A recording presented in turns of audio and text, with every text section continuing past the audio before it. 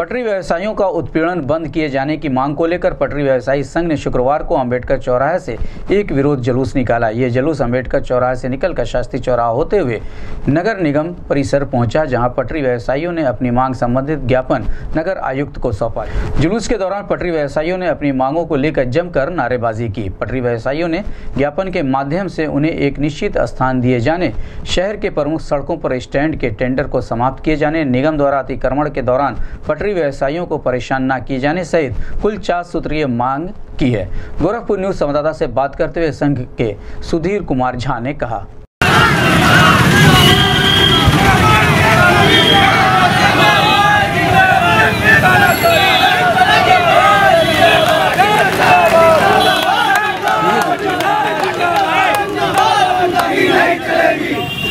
पटरी जिंदाबाद। जिंदाबाद जिंदाबाद।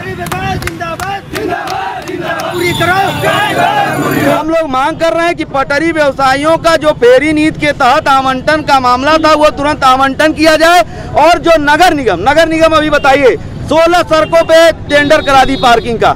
आप बताइए, मीडिया वाले हैं, क्या सड़क पे पार्किंग हो सकती है?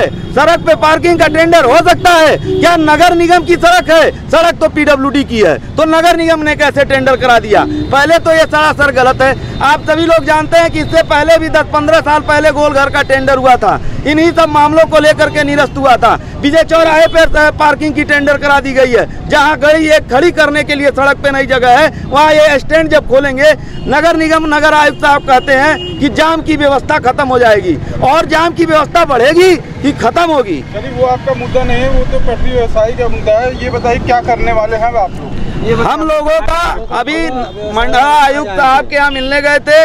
वो नहीं थे उप मंडला आयुक्त थे, हमने उनसे मुलाकात की, बात की। उन्होंने कहा है कि अभी नगर निगम की टीम को बुलाते हैं, हम बात करते हैं। हाँ आप लोगों का मामला सही है राष्ट्रीय पेरी नीति के तहत अगर ऐसा है, फार्म भरा गया है तो पहले आवंटन किया जाना चाहिए। उन्होंने अभी आश्वासन दिया है, हम नगर निगम जा रहे हैं, नगर आयुक्त को भी ज्ञापन देने के लिए कि भाई, पटरी व्यवसायियों के बारे में या तो नगर आयुक्त साहब को पूर्व रूप का पहले का जानकारी नहीं है।